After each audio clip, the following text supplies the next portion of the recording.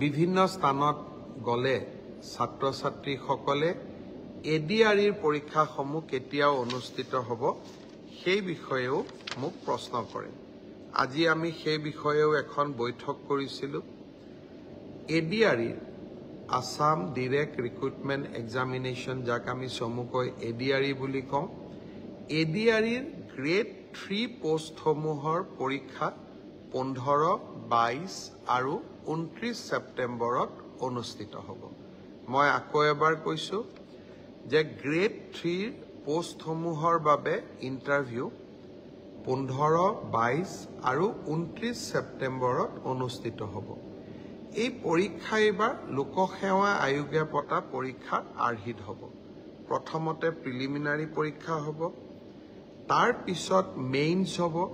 আৰু মেইনছৰ পিছত আমি ভাইভা প্ৰক্ৰিয়াৰ মাজেৰে আমি সমগ্ৰ ইণ্টাৰভিউ প্ৰক্ৰিয়াটো সমাপ্ত কৰিম। প্ৰিলিমছ এক্সাম তৃতীয় শ্ৰেণীৰ পদসমূহৰ বাবে পোন্ধৰ বাইছ আৰু ঊনত্ৰিছ ছেপ্টেম্বৰত অনুষ্ঠিত হ'ব। আজি আমি জুলাই মাহত আছোঁ। মই আশা কৰিম যে আমাৰ শিক্ষাৰ্থীসকলে চাকৰি প্ৰাৰ্থীসকলে যাতে পঢ়া শুনা আৰম্ভ কৰে। ঠিক সেইধৰণে চতুৰ্থ শ্ৰেণীৰ বাবেও আমি একেটাই ব্যৱস্থা হাতত ল'ম। প্ৰথমতে প্ৰিলিমছ তাৰপিছত মেইনছ আৰু তাৰপিছত ভাইভা ভচি। গ্ৰেড ফ'ৰ বা চতুৰ্থ শ্ৰেণীৰ পদৰো প্ৰিলিমছ বিছ আৰু সাতাইছ অক্টোবৰত অনুষ্ঠিত হ'ব।